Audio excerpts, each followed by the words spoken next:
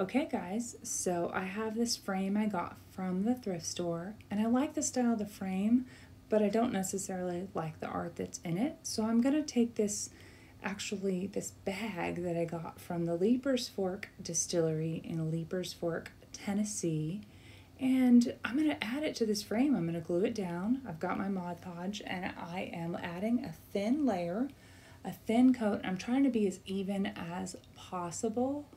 I find the less Mod Podge that I use, the less wrinkles I end up with.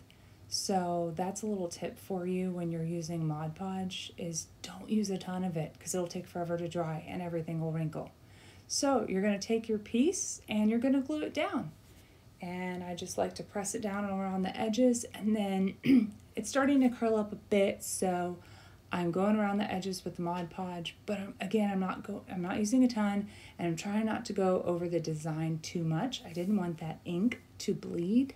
So I was afraid that might happen. And again, trying to get rid of those wrinkles. They will go away. They won't all go away, but now it's time to paint.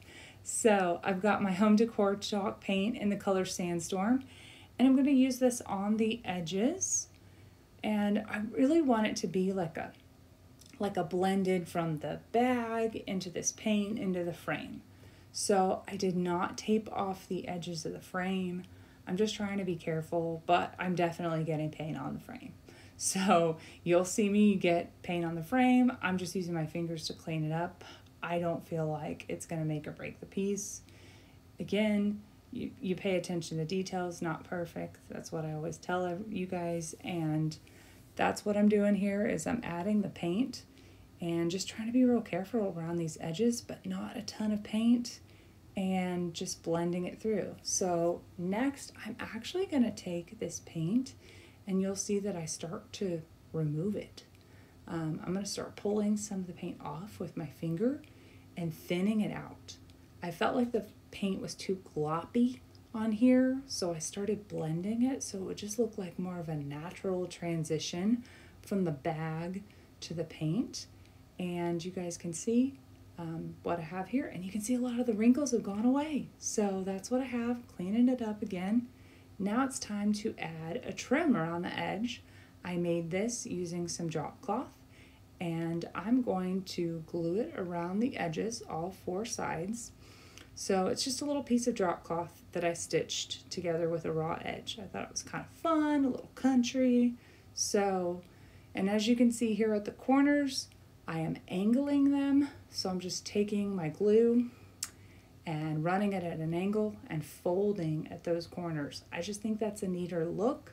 I don't really like rounded corners on frames. I feel like that that's a cheap way to do it. So I always angle and it's pretty simple. You just run your glue along like you see I'm doing here and you're going to run another piece at that corner. You'll see me do it again and fold it at an angle. So on the last edge, I always go a little longer than needed on my trim. You never know how much you're going to need, so I always like to err on the side of caution. So this piece will be a little bit long. I'm going to come in and trim off my edge, and I'm still to do that angled corner. So I'm to glue it down, and I'm to fold it under at an angle to finish it off and make it look perfect. So that's what I have, guys. Clean up the edges here. Next, we are going to embellish this baby. So I've got some florals from my stash, just some little pieces of stems. And I always like to take a few different styles and combine them. And what I was trying to do here was stick that, that single stem through the middle of that. It wasn't quite working, so I had to trim it down a little bit. I eventually got there. Y'all can see me struggling with it.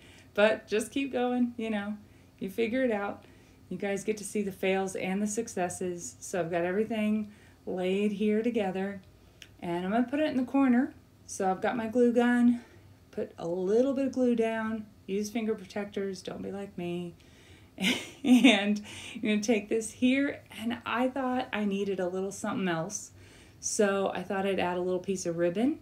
folded at an angle in a neutral color so I've got that hanging out down there and I'm going to glue that down, just kind of try to spread out my floral, make it look nice. and press that down so the glue sticks.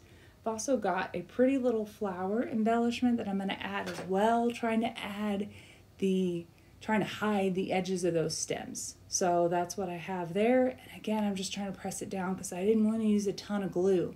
So that's where we ended up. I think it looks so good.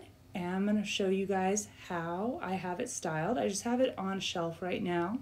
You could hang it on a wall, you could lean it on a shelf. I do love the little flare of that embellishment.